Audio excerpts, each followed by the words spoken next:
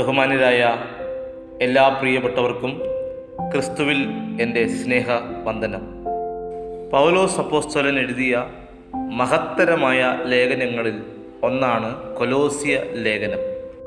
കൊലോസ്യർക്ക് എഴുതിയ ലേഖനം ഒന്നാം അധ്യായം അതിന്റെ ഇരുപത്തി മൂന്നാം വാക്യത്തിന്റെ ഒടുവിൽ നിങ്ങൾ കേട്ടുമിരിക്കുന്ന സുവിശേഷത്തിന്റെ പ്രത്യാശയിൽ നിന്ന് നിങ്ങൾ ഇളകാതെ അടിസ്ഥാനപ്പെട്ടവരും സ്ഥിരതയുള്ളവരുമായി വിശ്വാസത്തിൽ നിലനിന്നുകൊണ്ടാൽ അങ്ങനെ അവന്റെ മുമ്പിൽ നിൽക്കും.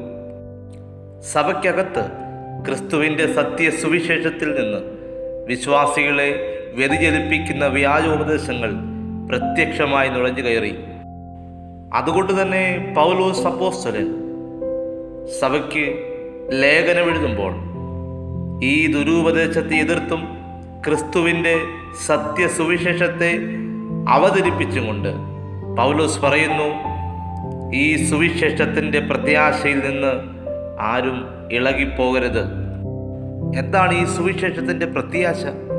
അത് മറ്റൊന്നുമല്ല നമ്മുടെ കർത്താവിന്റെ പുനരാഗമനമാണ് ഒരു വിശ്വാസിയുടെ ദൈവ പൈതലിന്റെ ഭാഗ്യകരമായ പ്രത്യാശ എന്ന് പറയുന്നത്.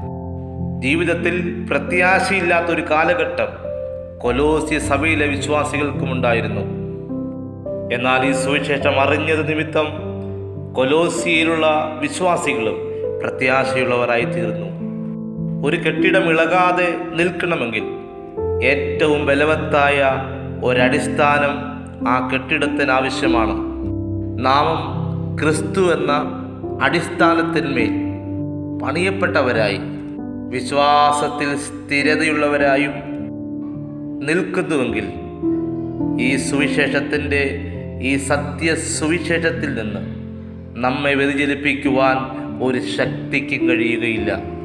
നേരെ മറിച്ച് ഈ വിശ്വാസത്തിൽ നിന്ന് വഴുതിപ്പോയാൽ ദുരൂപദേശങ്ങളിൽ കുടുങ്ങിപ്പോയാൽ ക്രിസ്തുവിലെ വിശ്വാസവും പ്രത്യാശയും അത് യഥാർത്ഥമല്ലായിരുന്നു എന്ന് തെളിയും. അതുകൊണ്ട് പൗലോസ് ഇതൊരു അപകട മുന്നറിയിപ്പായിട്ട് സഭയോട് ഓർപ്പിക്കുകയാണ്. ഇത് അന്ത്യകാലമാണ്.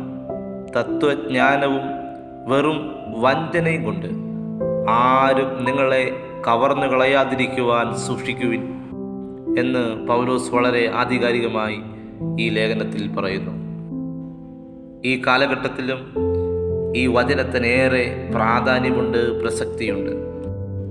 നവീന ഉപദേശങ്ങളുടെ അതിപ്രസരമുള്ള ഈ കാലഘട്ടത്തിലും ഈ സത്യസുവിശേഷത്തിൽ നിന്ന് വ്യതിചലിക്കാതെ ഈ സുവിശേഷത്തിന്റെ പ്രത്യാശയിൽ ഇളകാതെ നാം ഓരോ ദിവസവും ഉറയ്ക്കണം.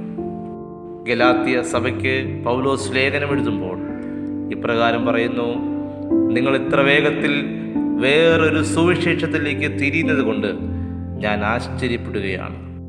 അതേ പ്രിയമുള്ളവരെ ഒട്ടനവധി പ്രതിസന്ധികൾ ഏറ്റുവാങ്ങിയിട്ടും ഇന്നും ഈ സുവിശേഷത്തിന്റെ ദീപശകയെ കെടുത്തുവാൻ ഒരു ശക്തിക്കും കഴിഞ്ഞിട്ടില്ല എന്നുള്ളതാണ്. എത്രത്തോളം ശത്രുക്കൾ കെടുത്തുവാൻ ശ്രമിക്കുന്നു അത്രത്തോളം ഇരട്ടിയായി ആളിപ്പടരുന്ന സന്ദേശമാണ് സുവിശേഷം. ഇന്നും ഈ സുവിശേഷത്തിന്റെ ദൈത്രയാത്ര തുടർന്നുകൊണ്ടേയിരിക്കുകയാണ്. അതുകൊണ്ട് ഇത് കേൾക്കുന്ന പ്രിയ പ്രിയമുള്ളവരെ ചില കാലങ്ങളായി നമുക്ക് ഒരുമിച്ച് ആരാധിക്കുവാനോ ഒരുമിച്ച് കൂടിവരുവാനോ കഴിയാത്ത ഒരു സാഹചര്യത്തിലൂടെ നാം മുമ്പോട്ട് പോയിക്കൊണ്ടിരിക്കുകയാണ്. നമ്മെ വചനത്തിൽ ബലപ്പെടുത്തുവാനോ ശക്തീകരിക്കുവാനോ ഒരുപക്ഷെ ആർക്കും അടുത്തു വരാൻ കഴിയാത്ത ഒരു സാഹചര്യമായിരിക്കാം.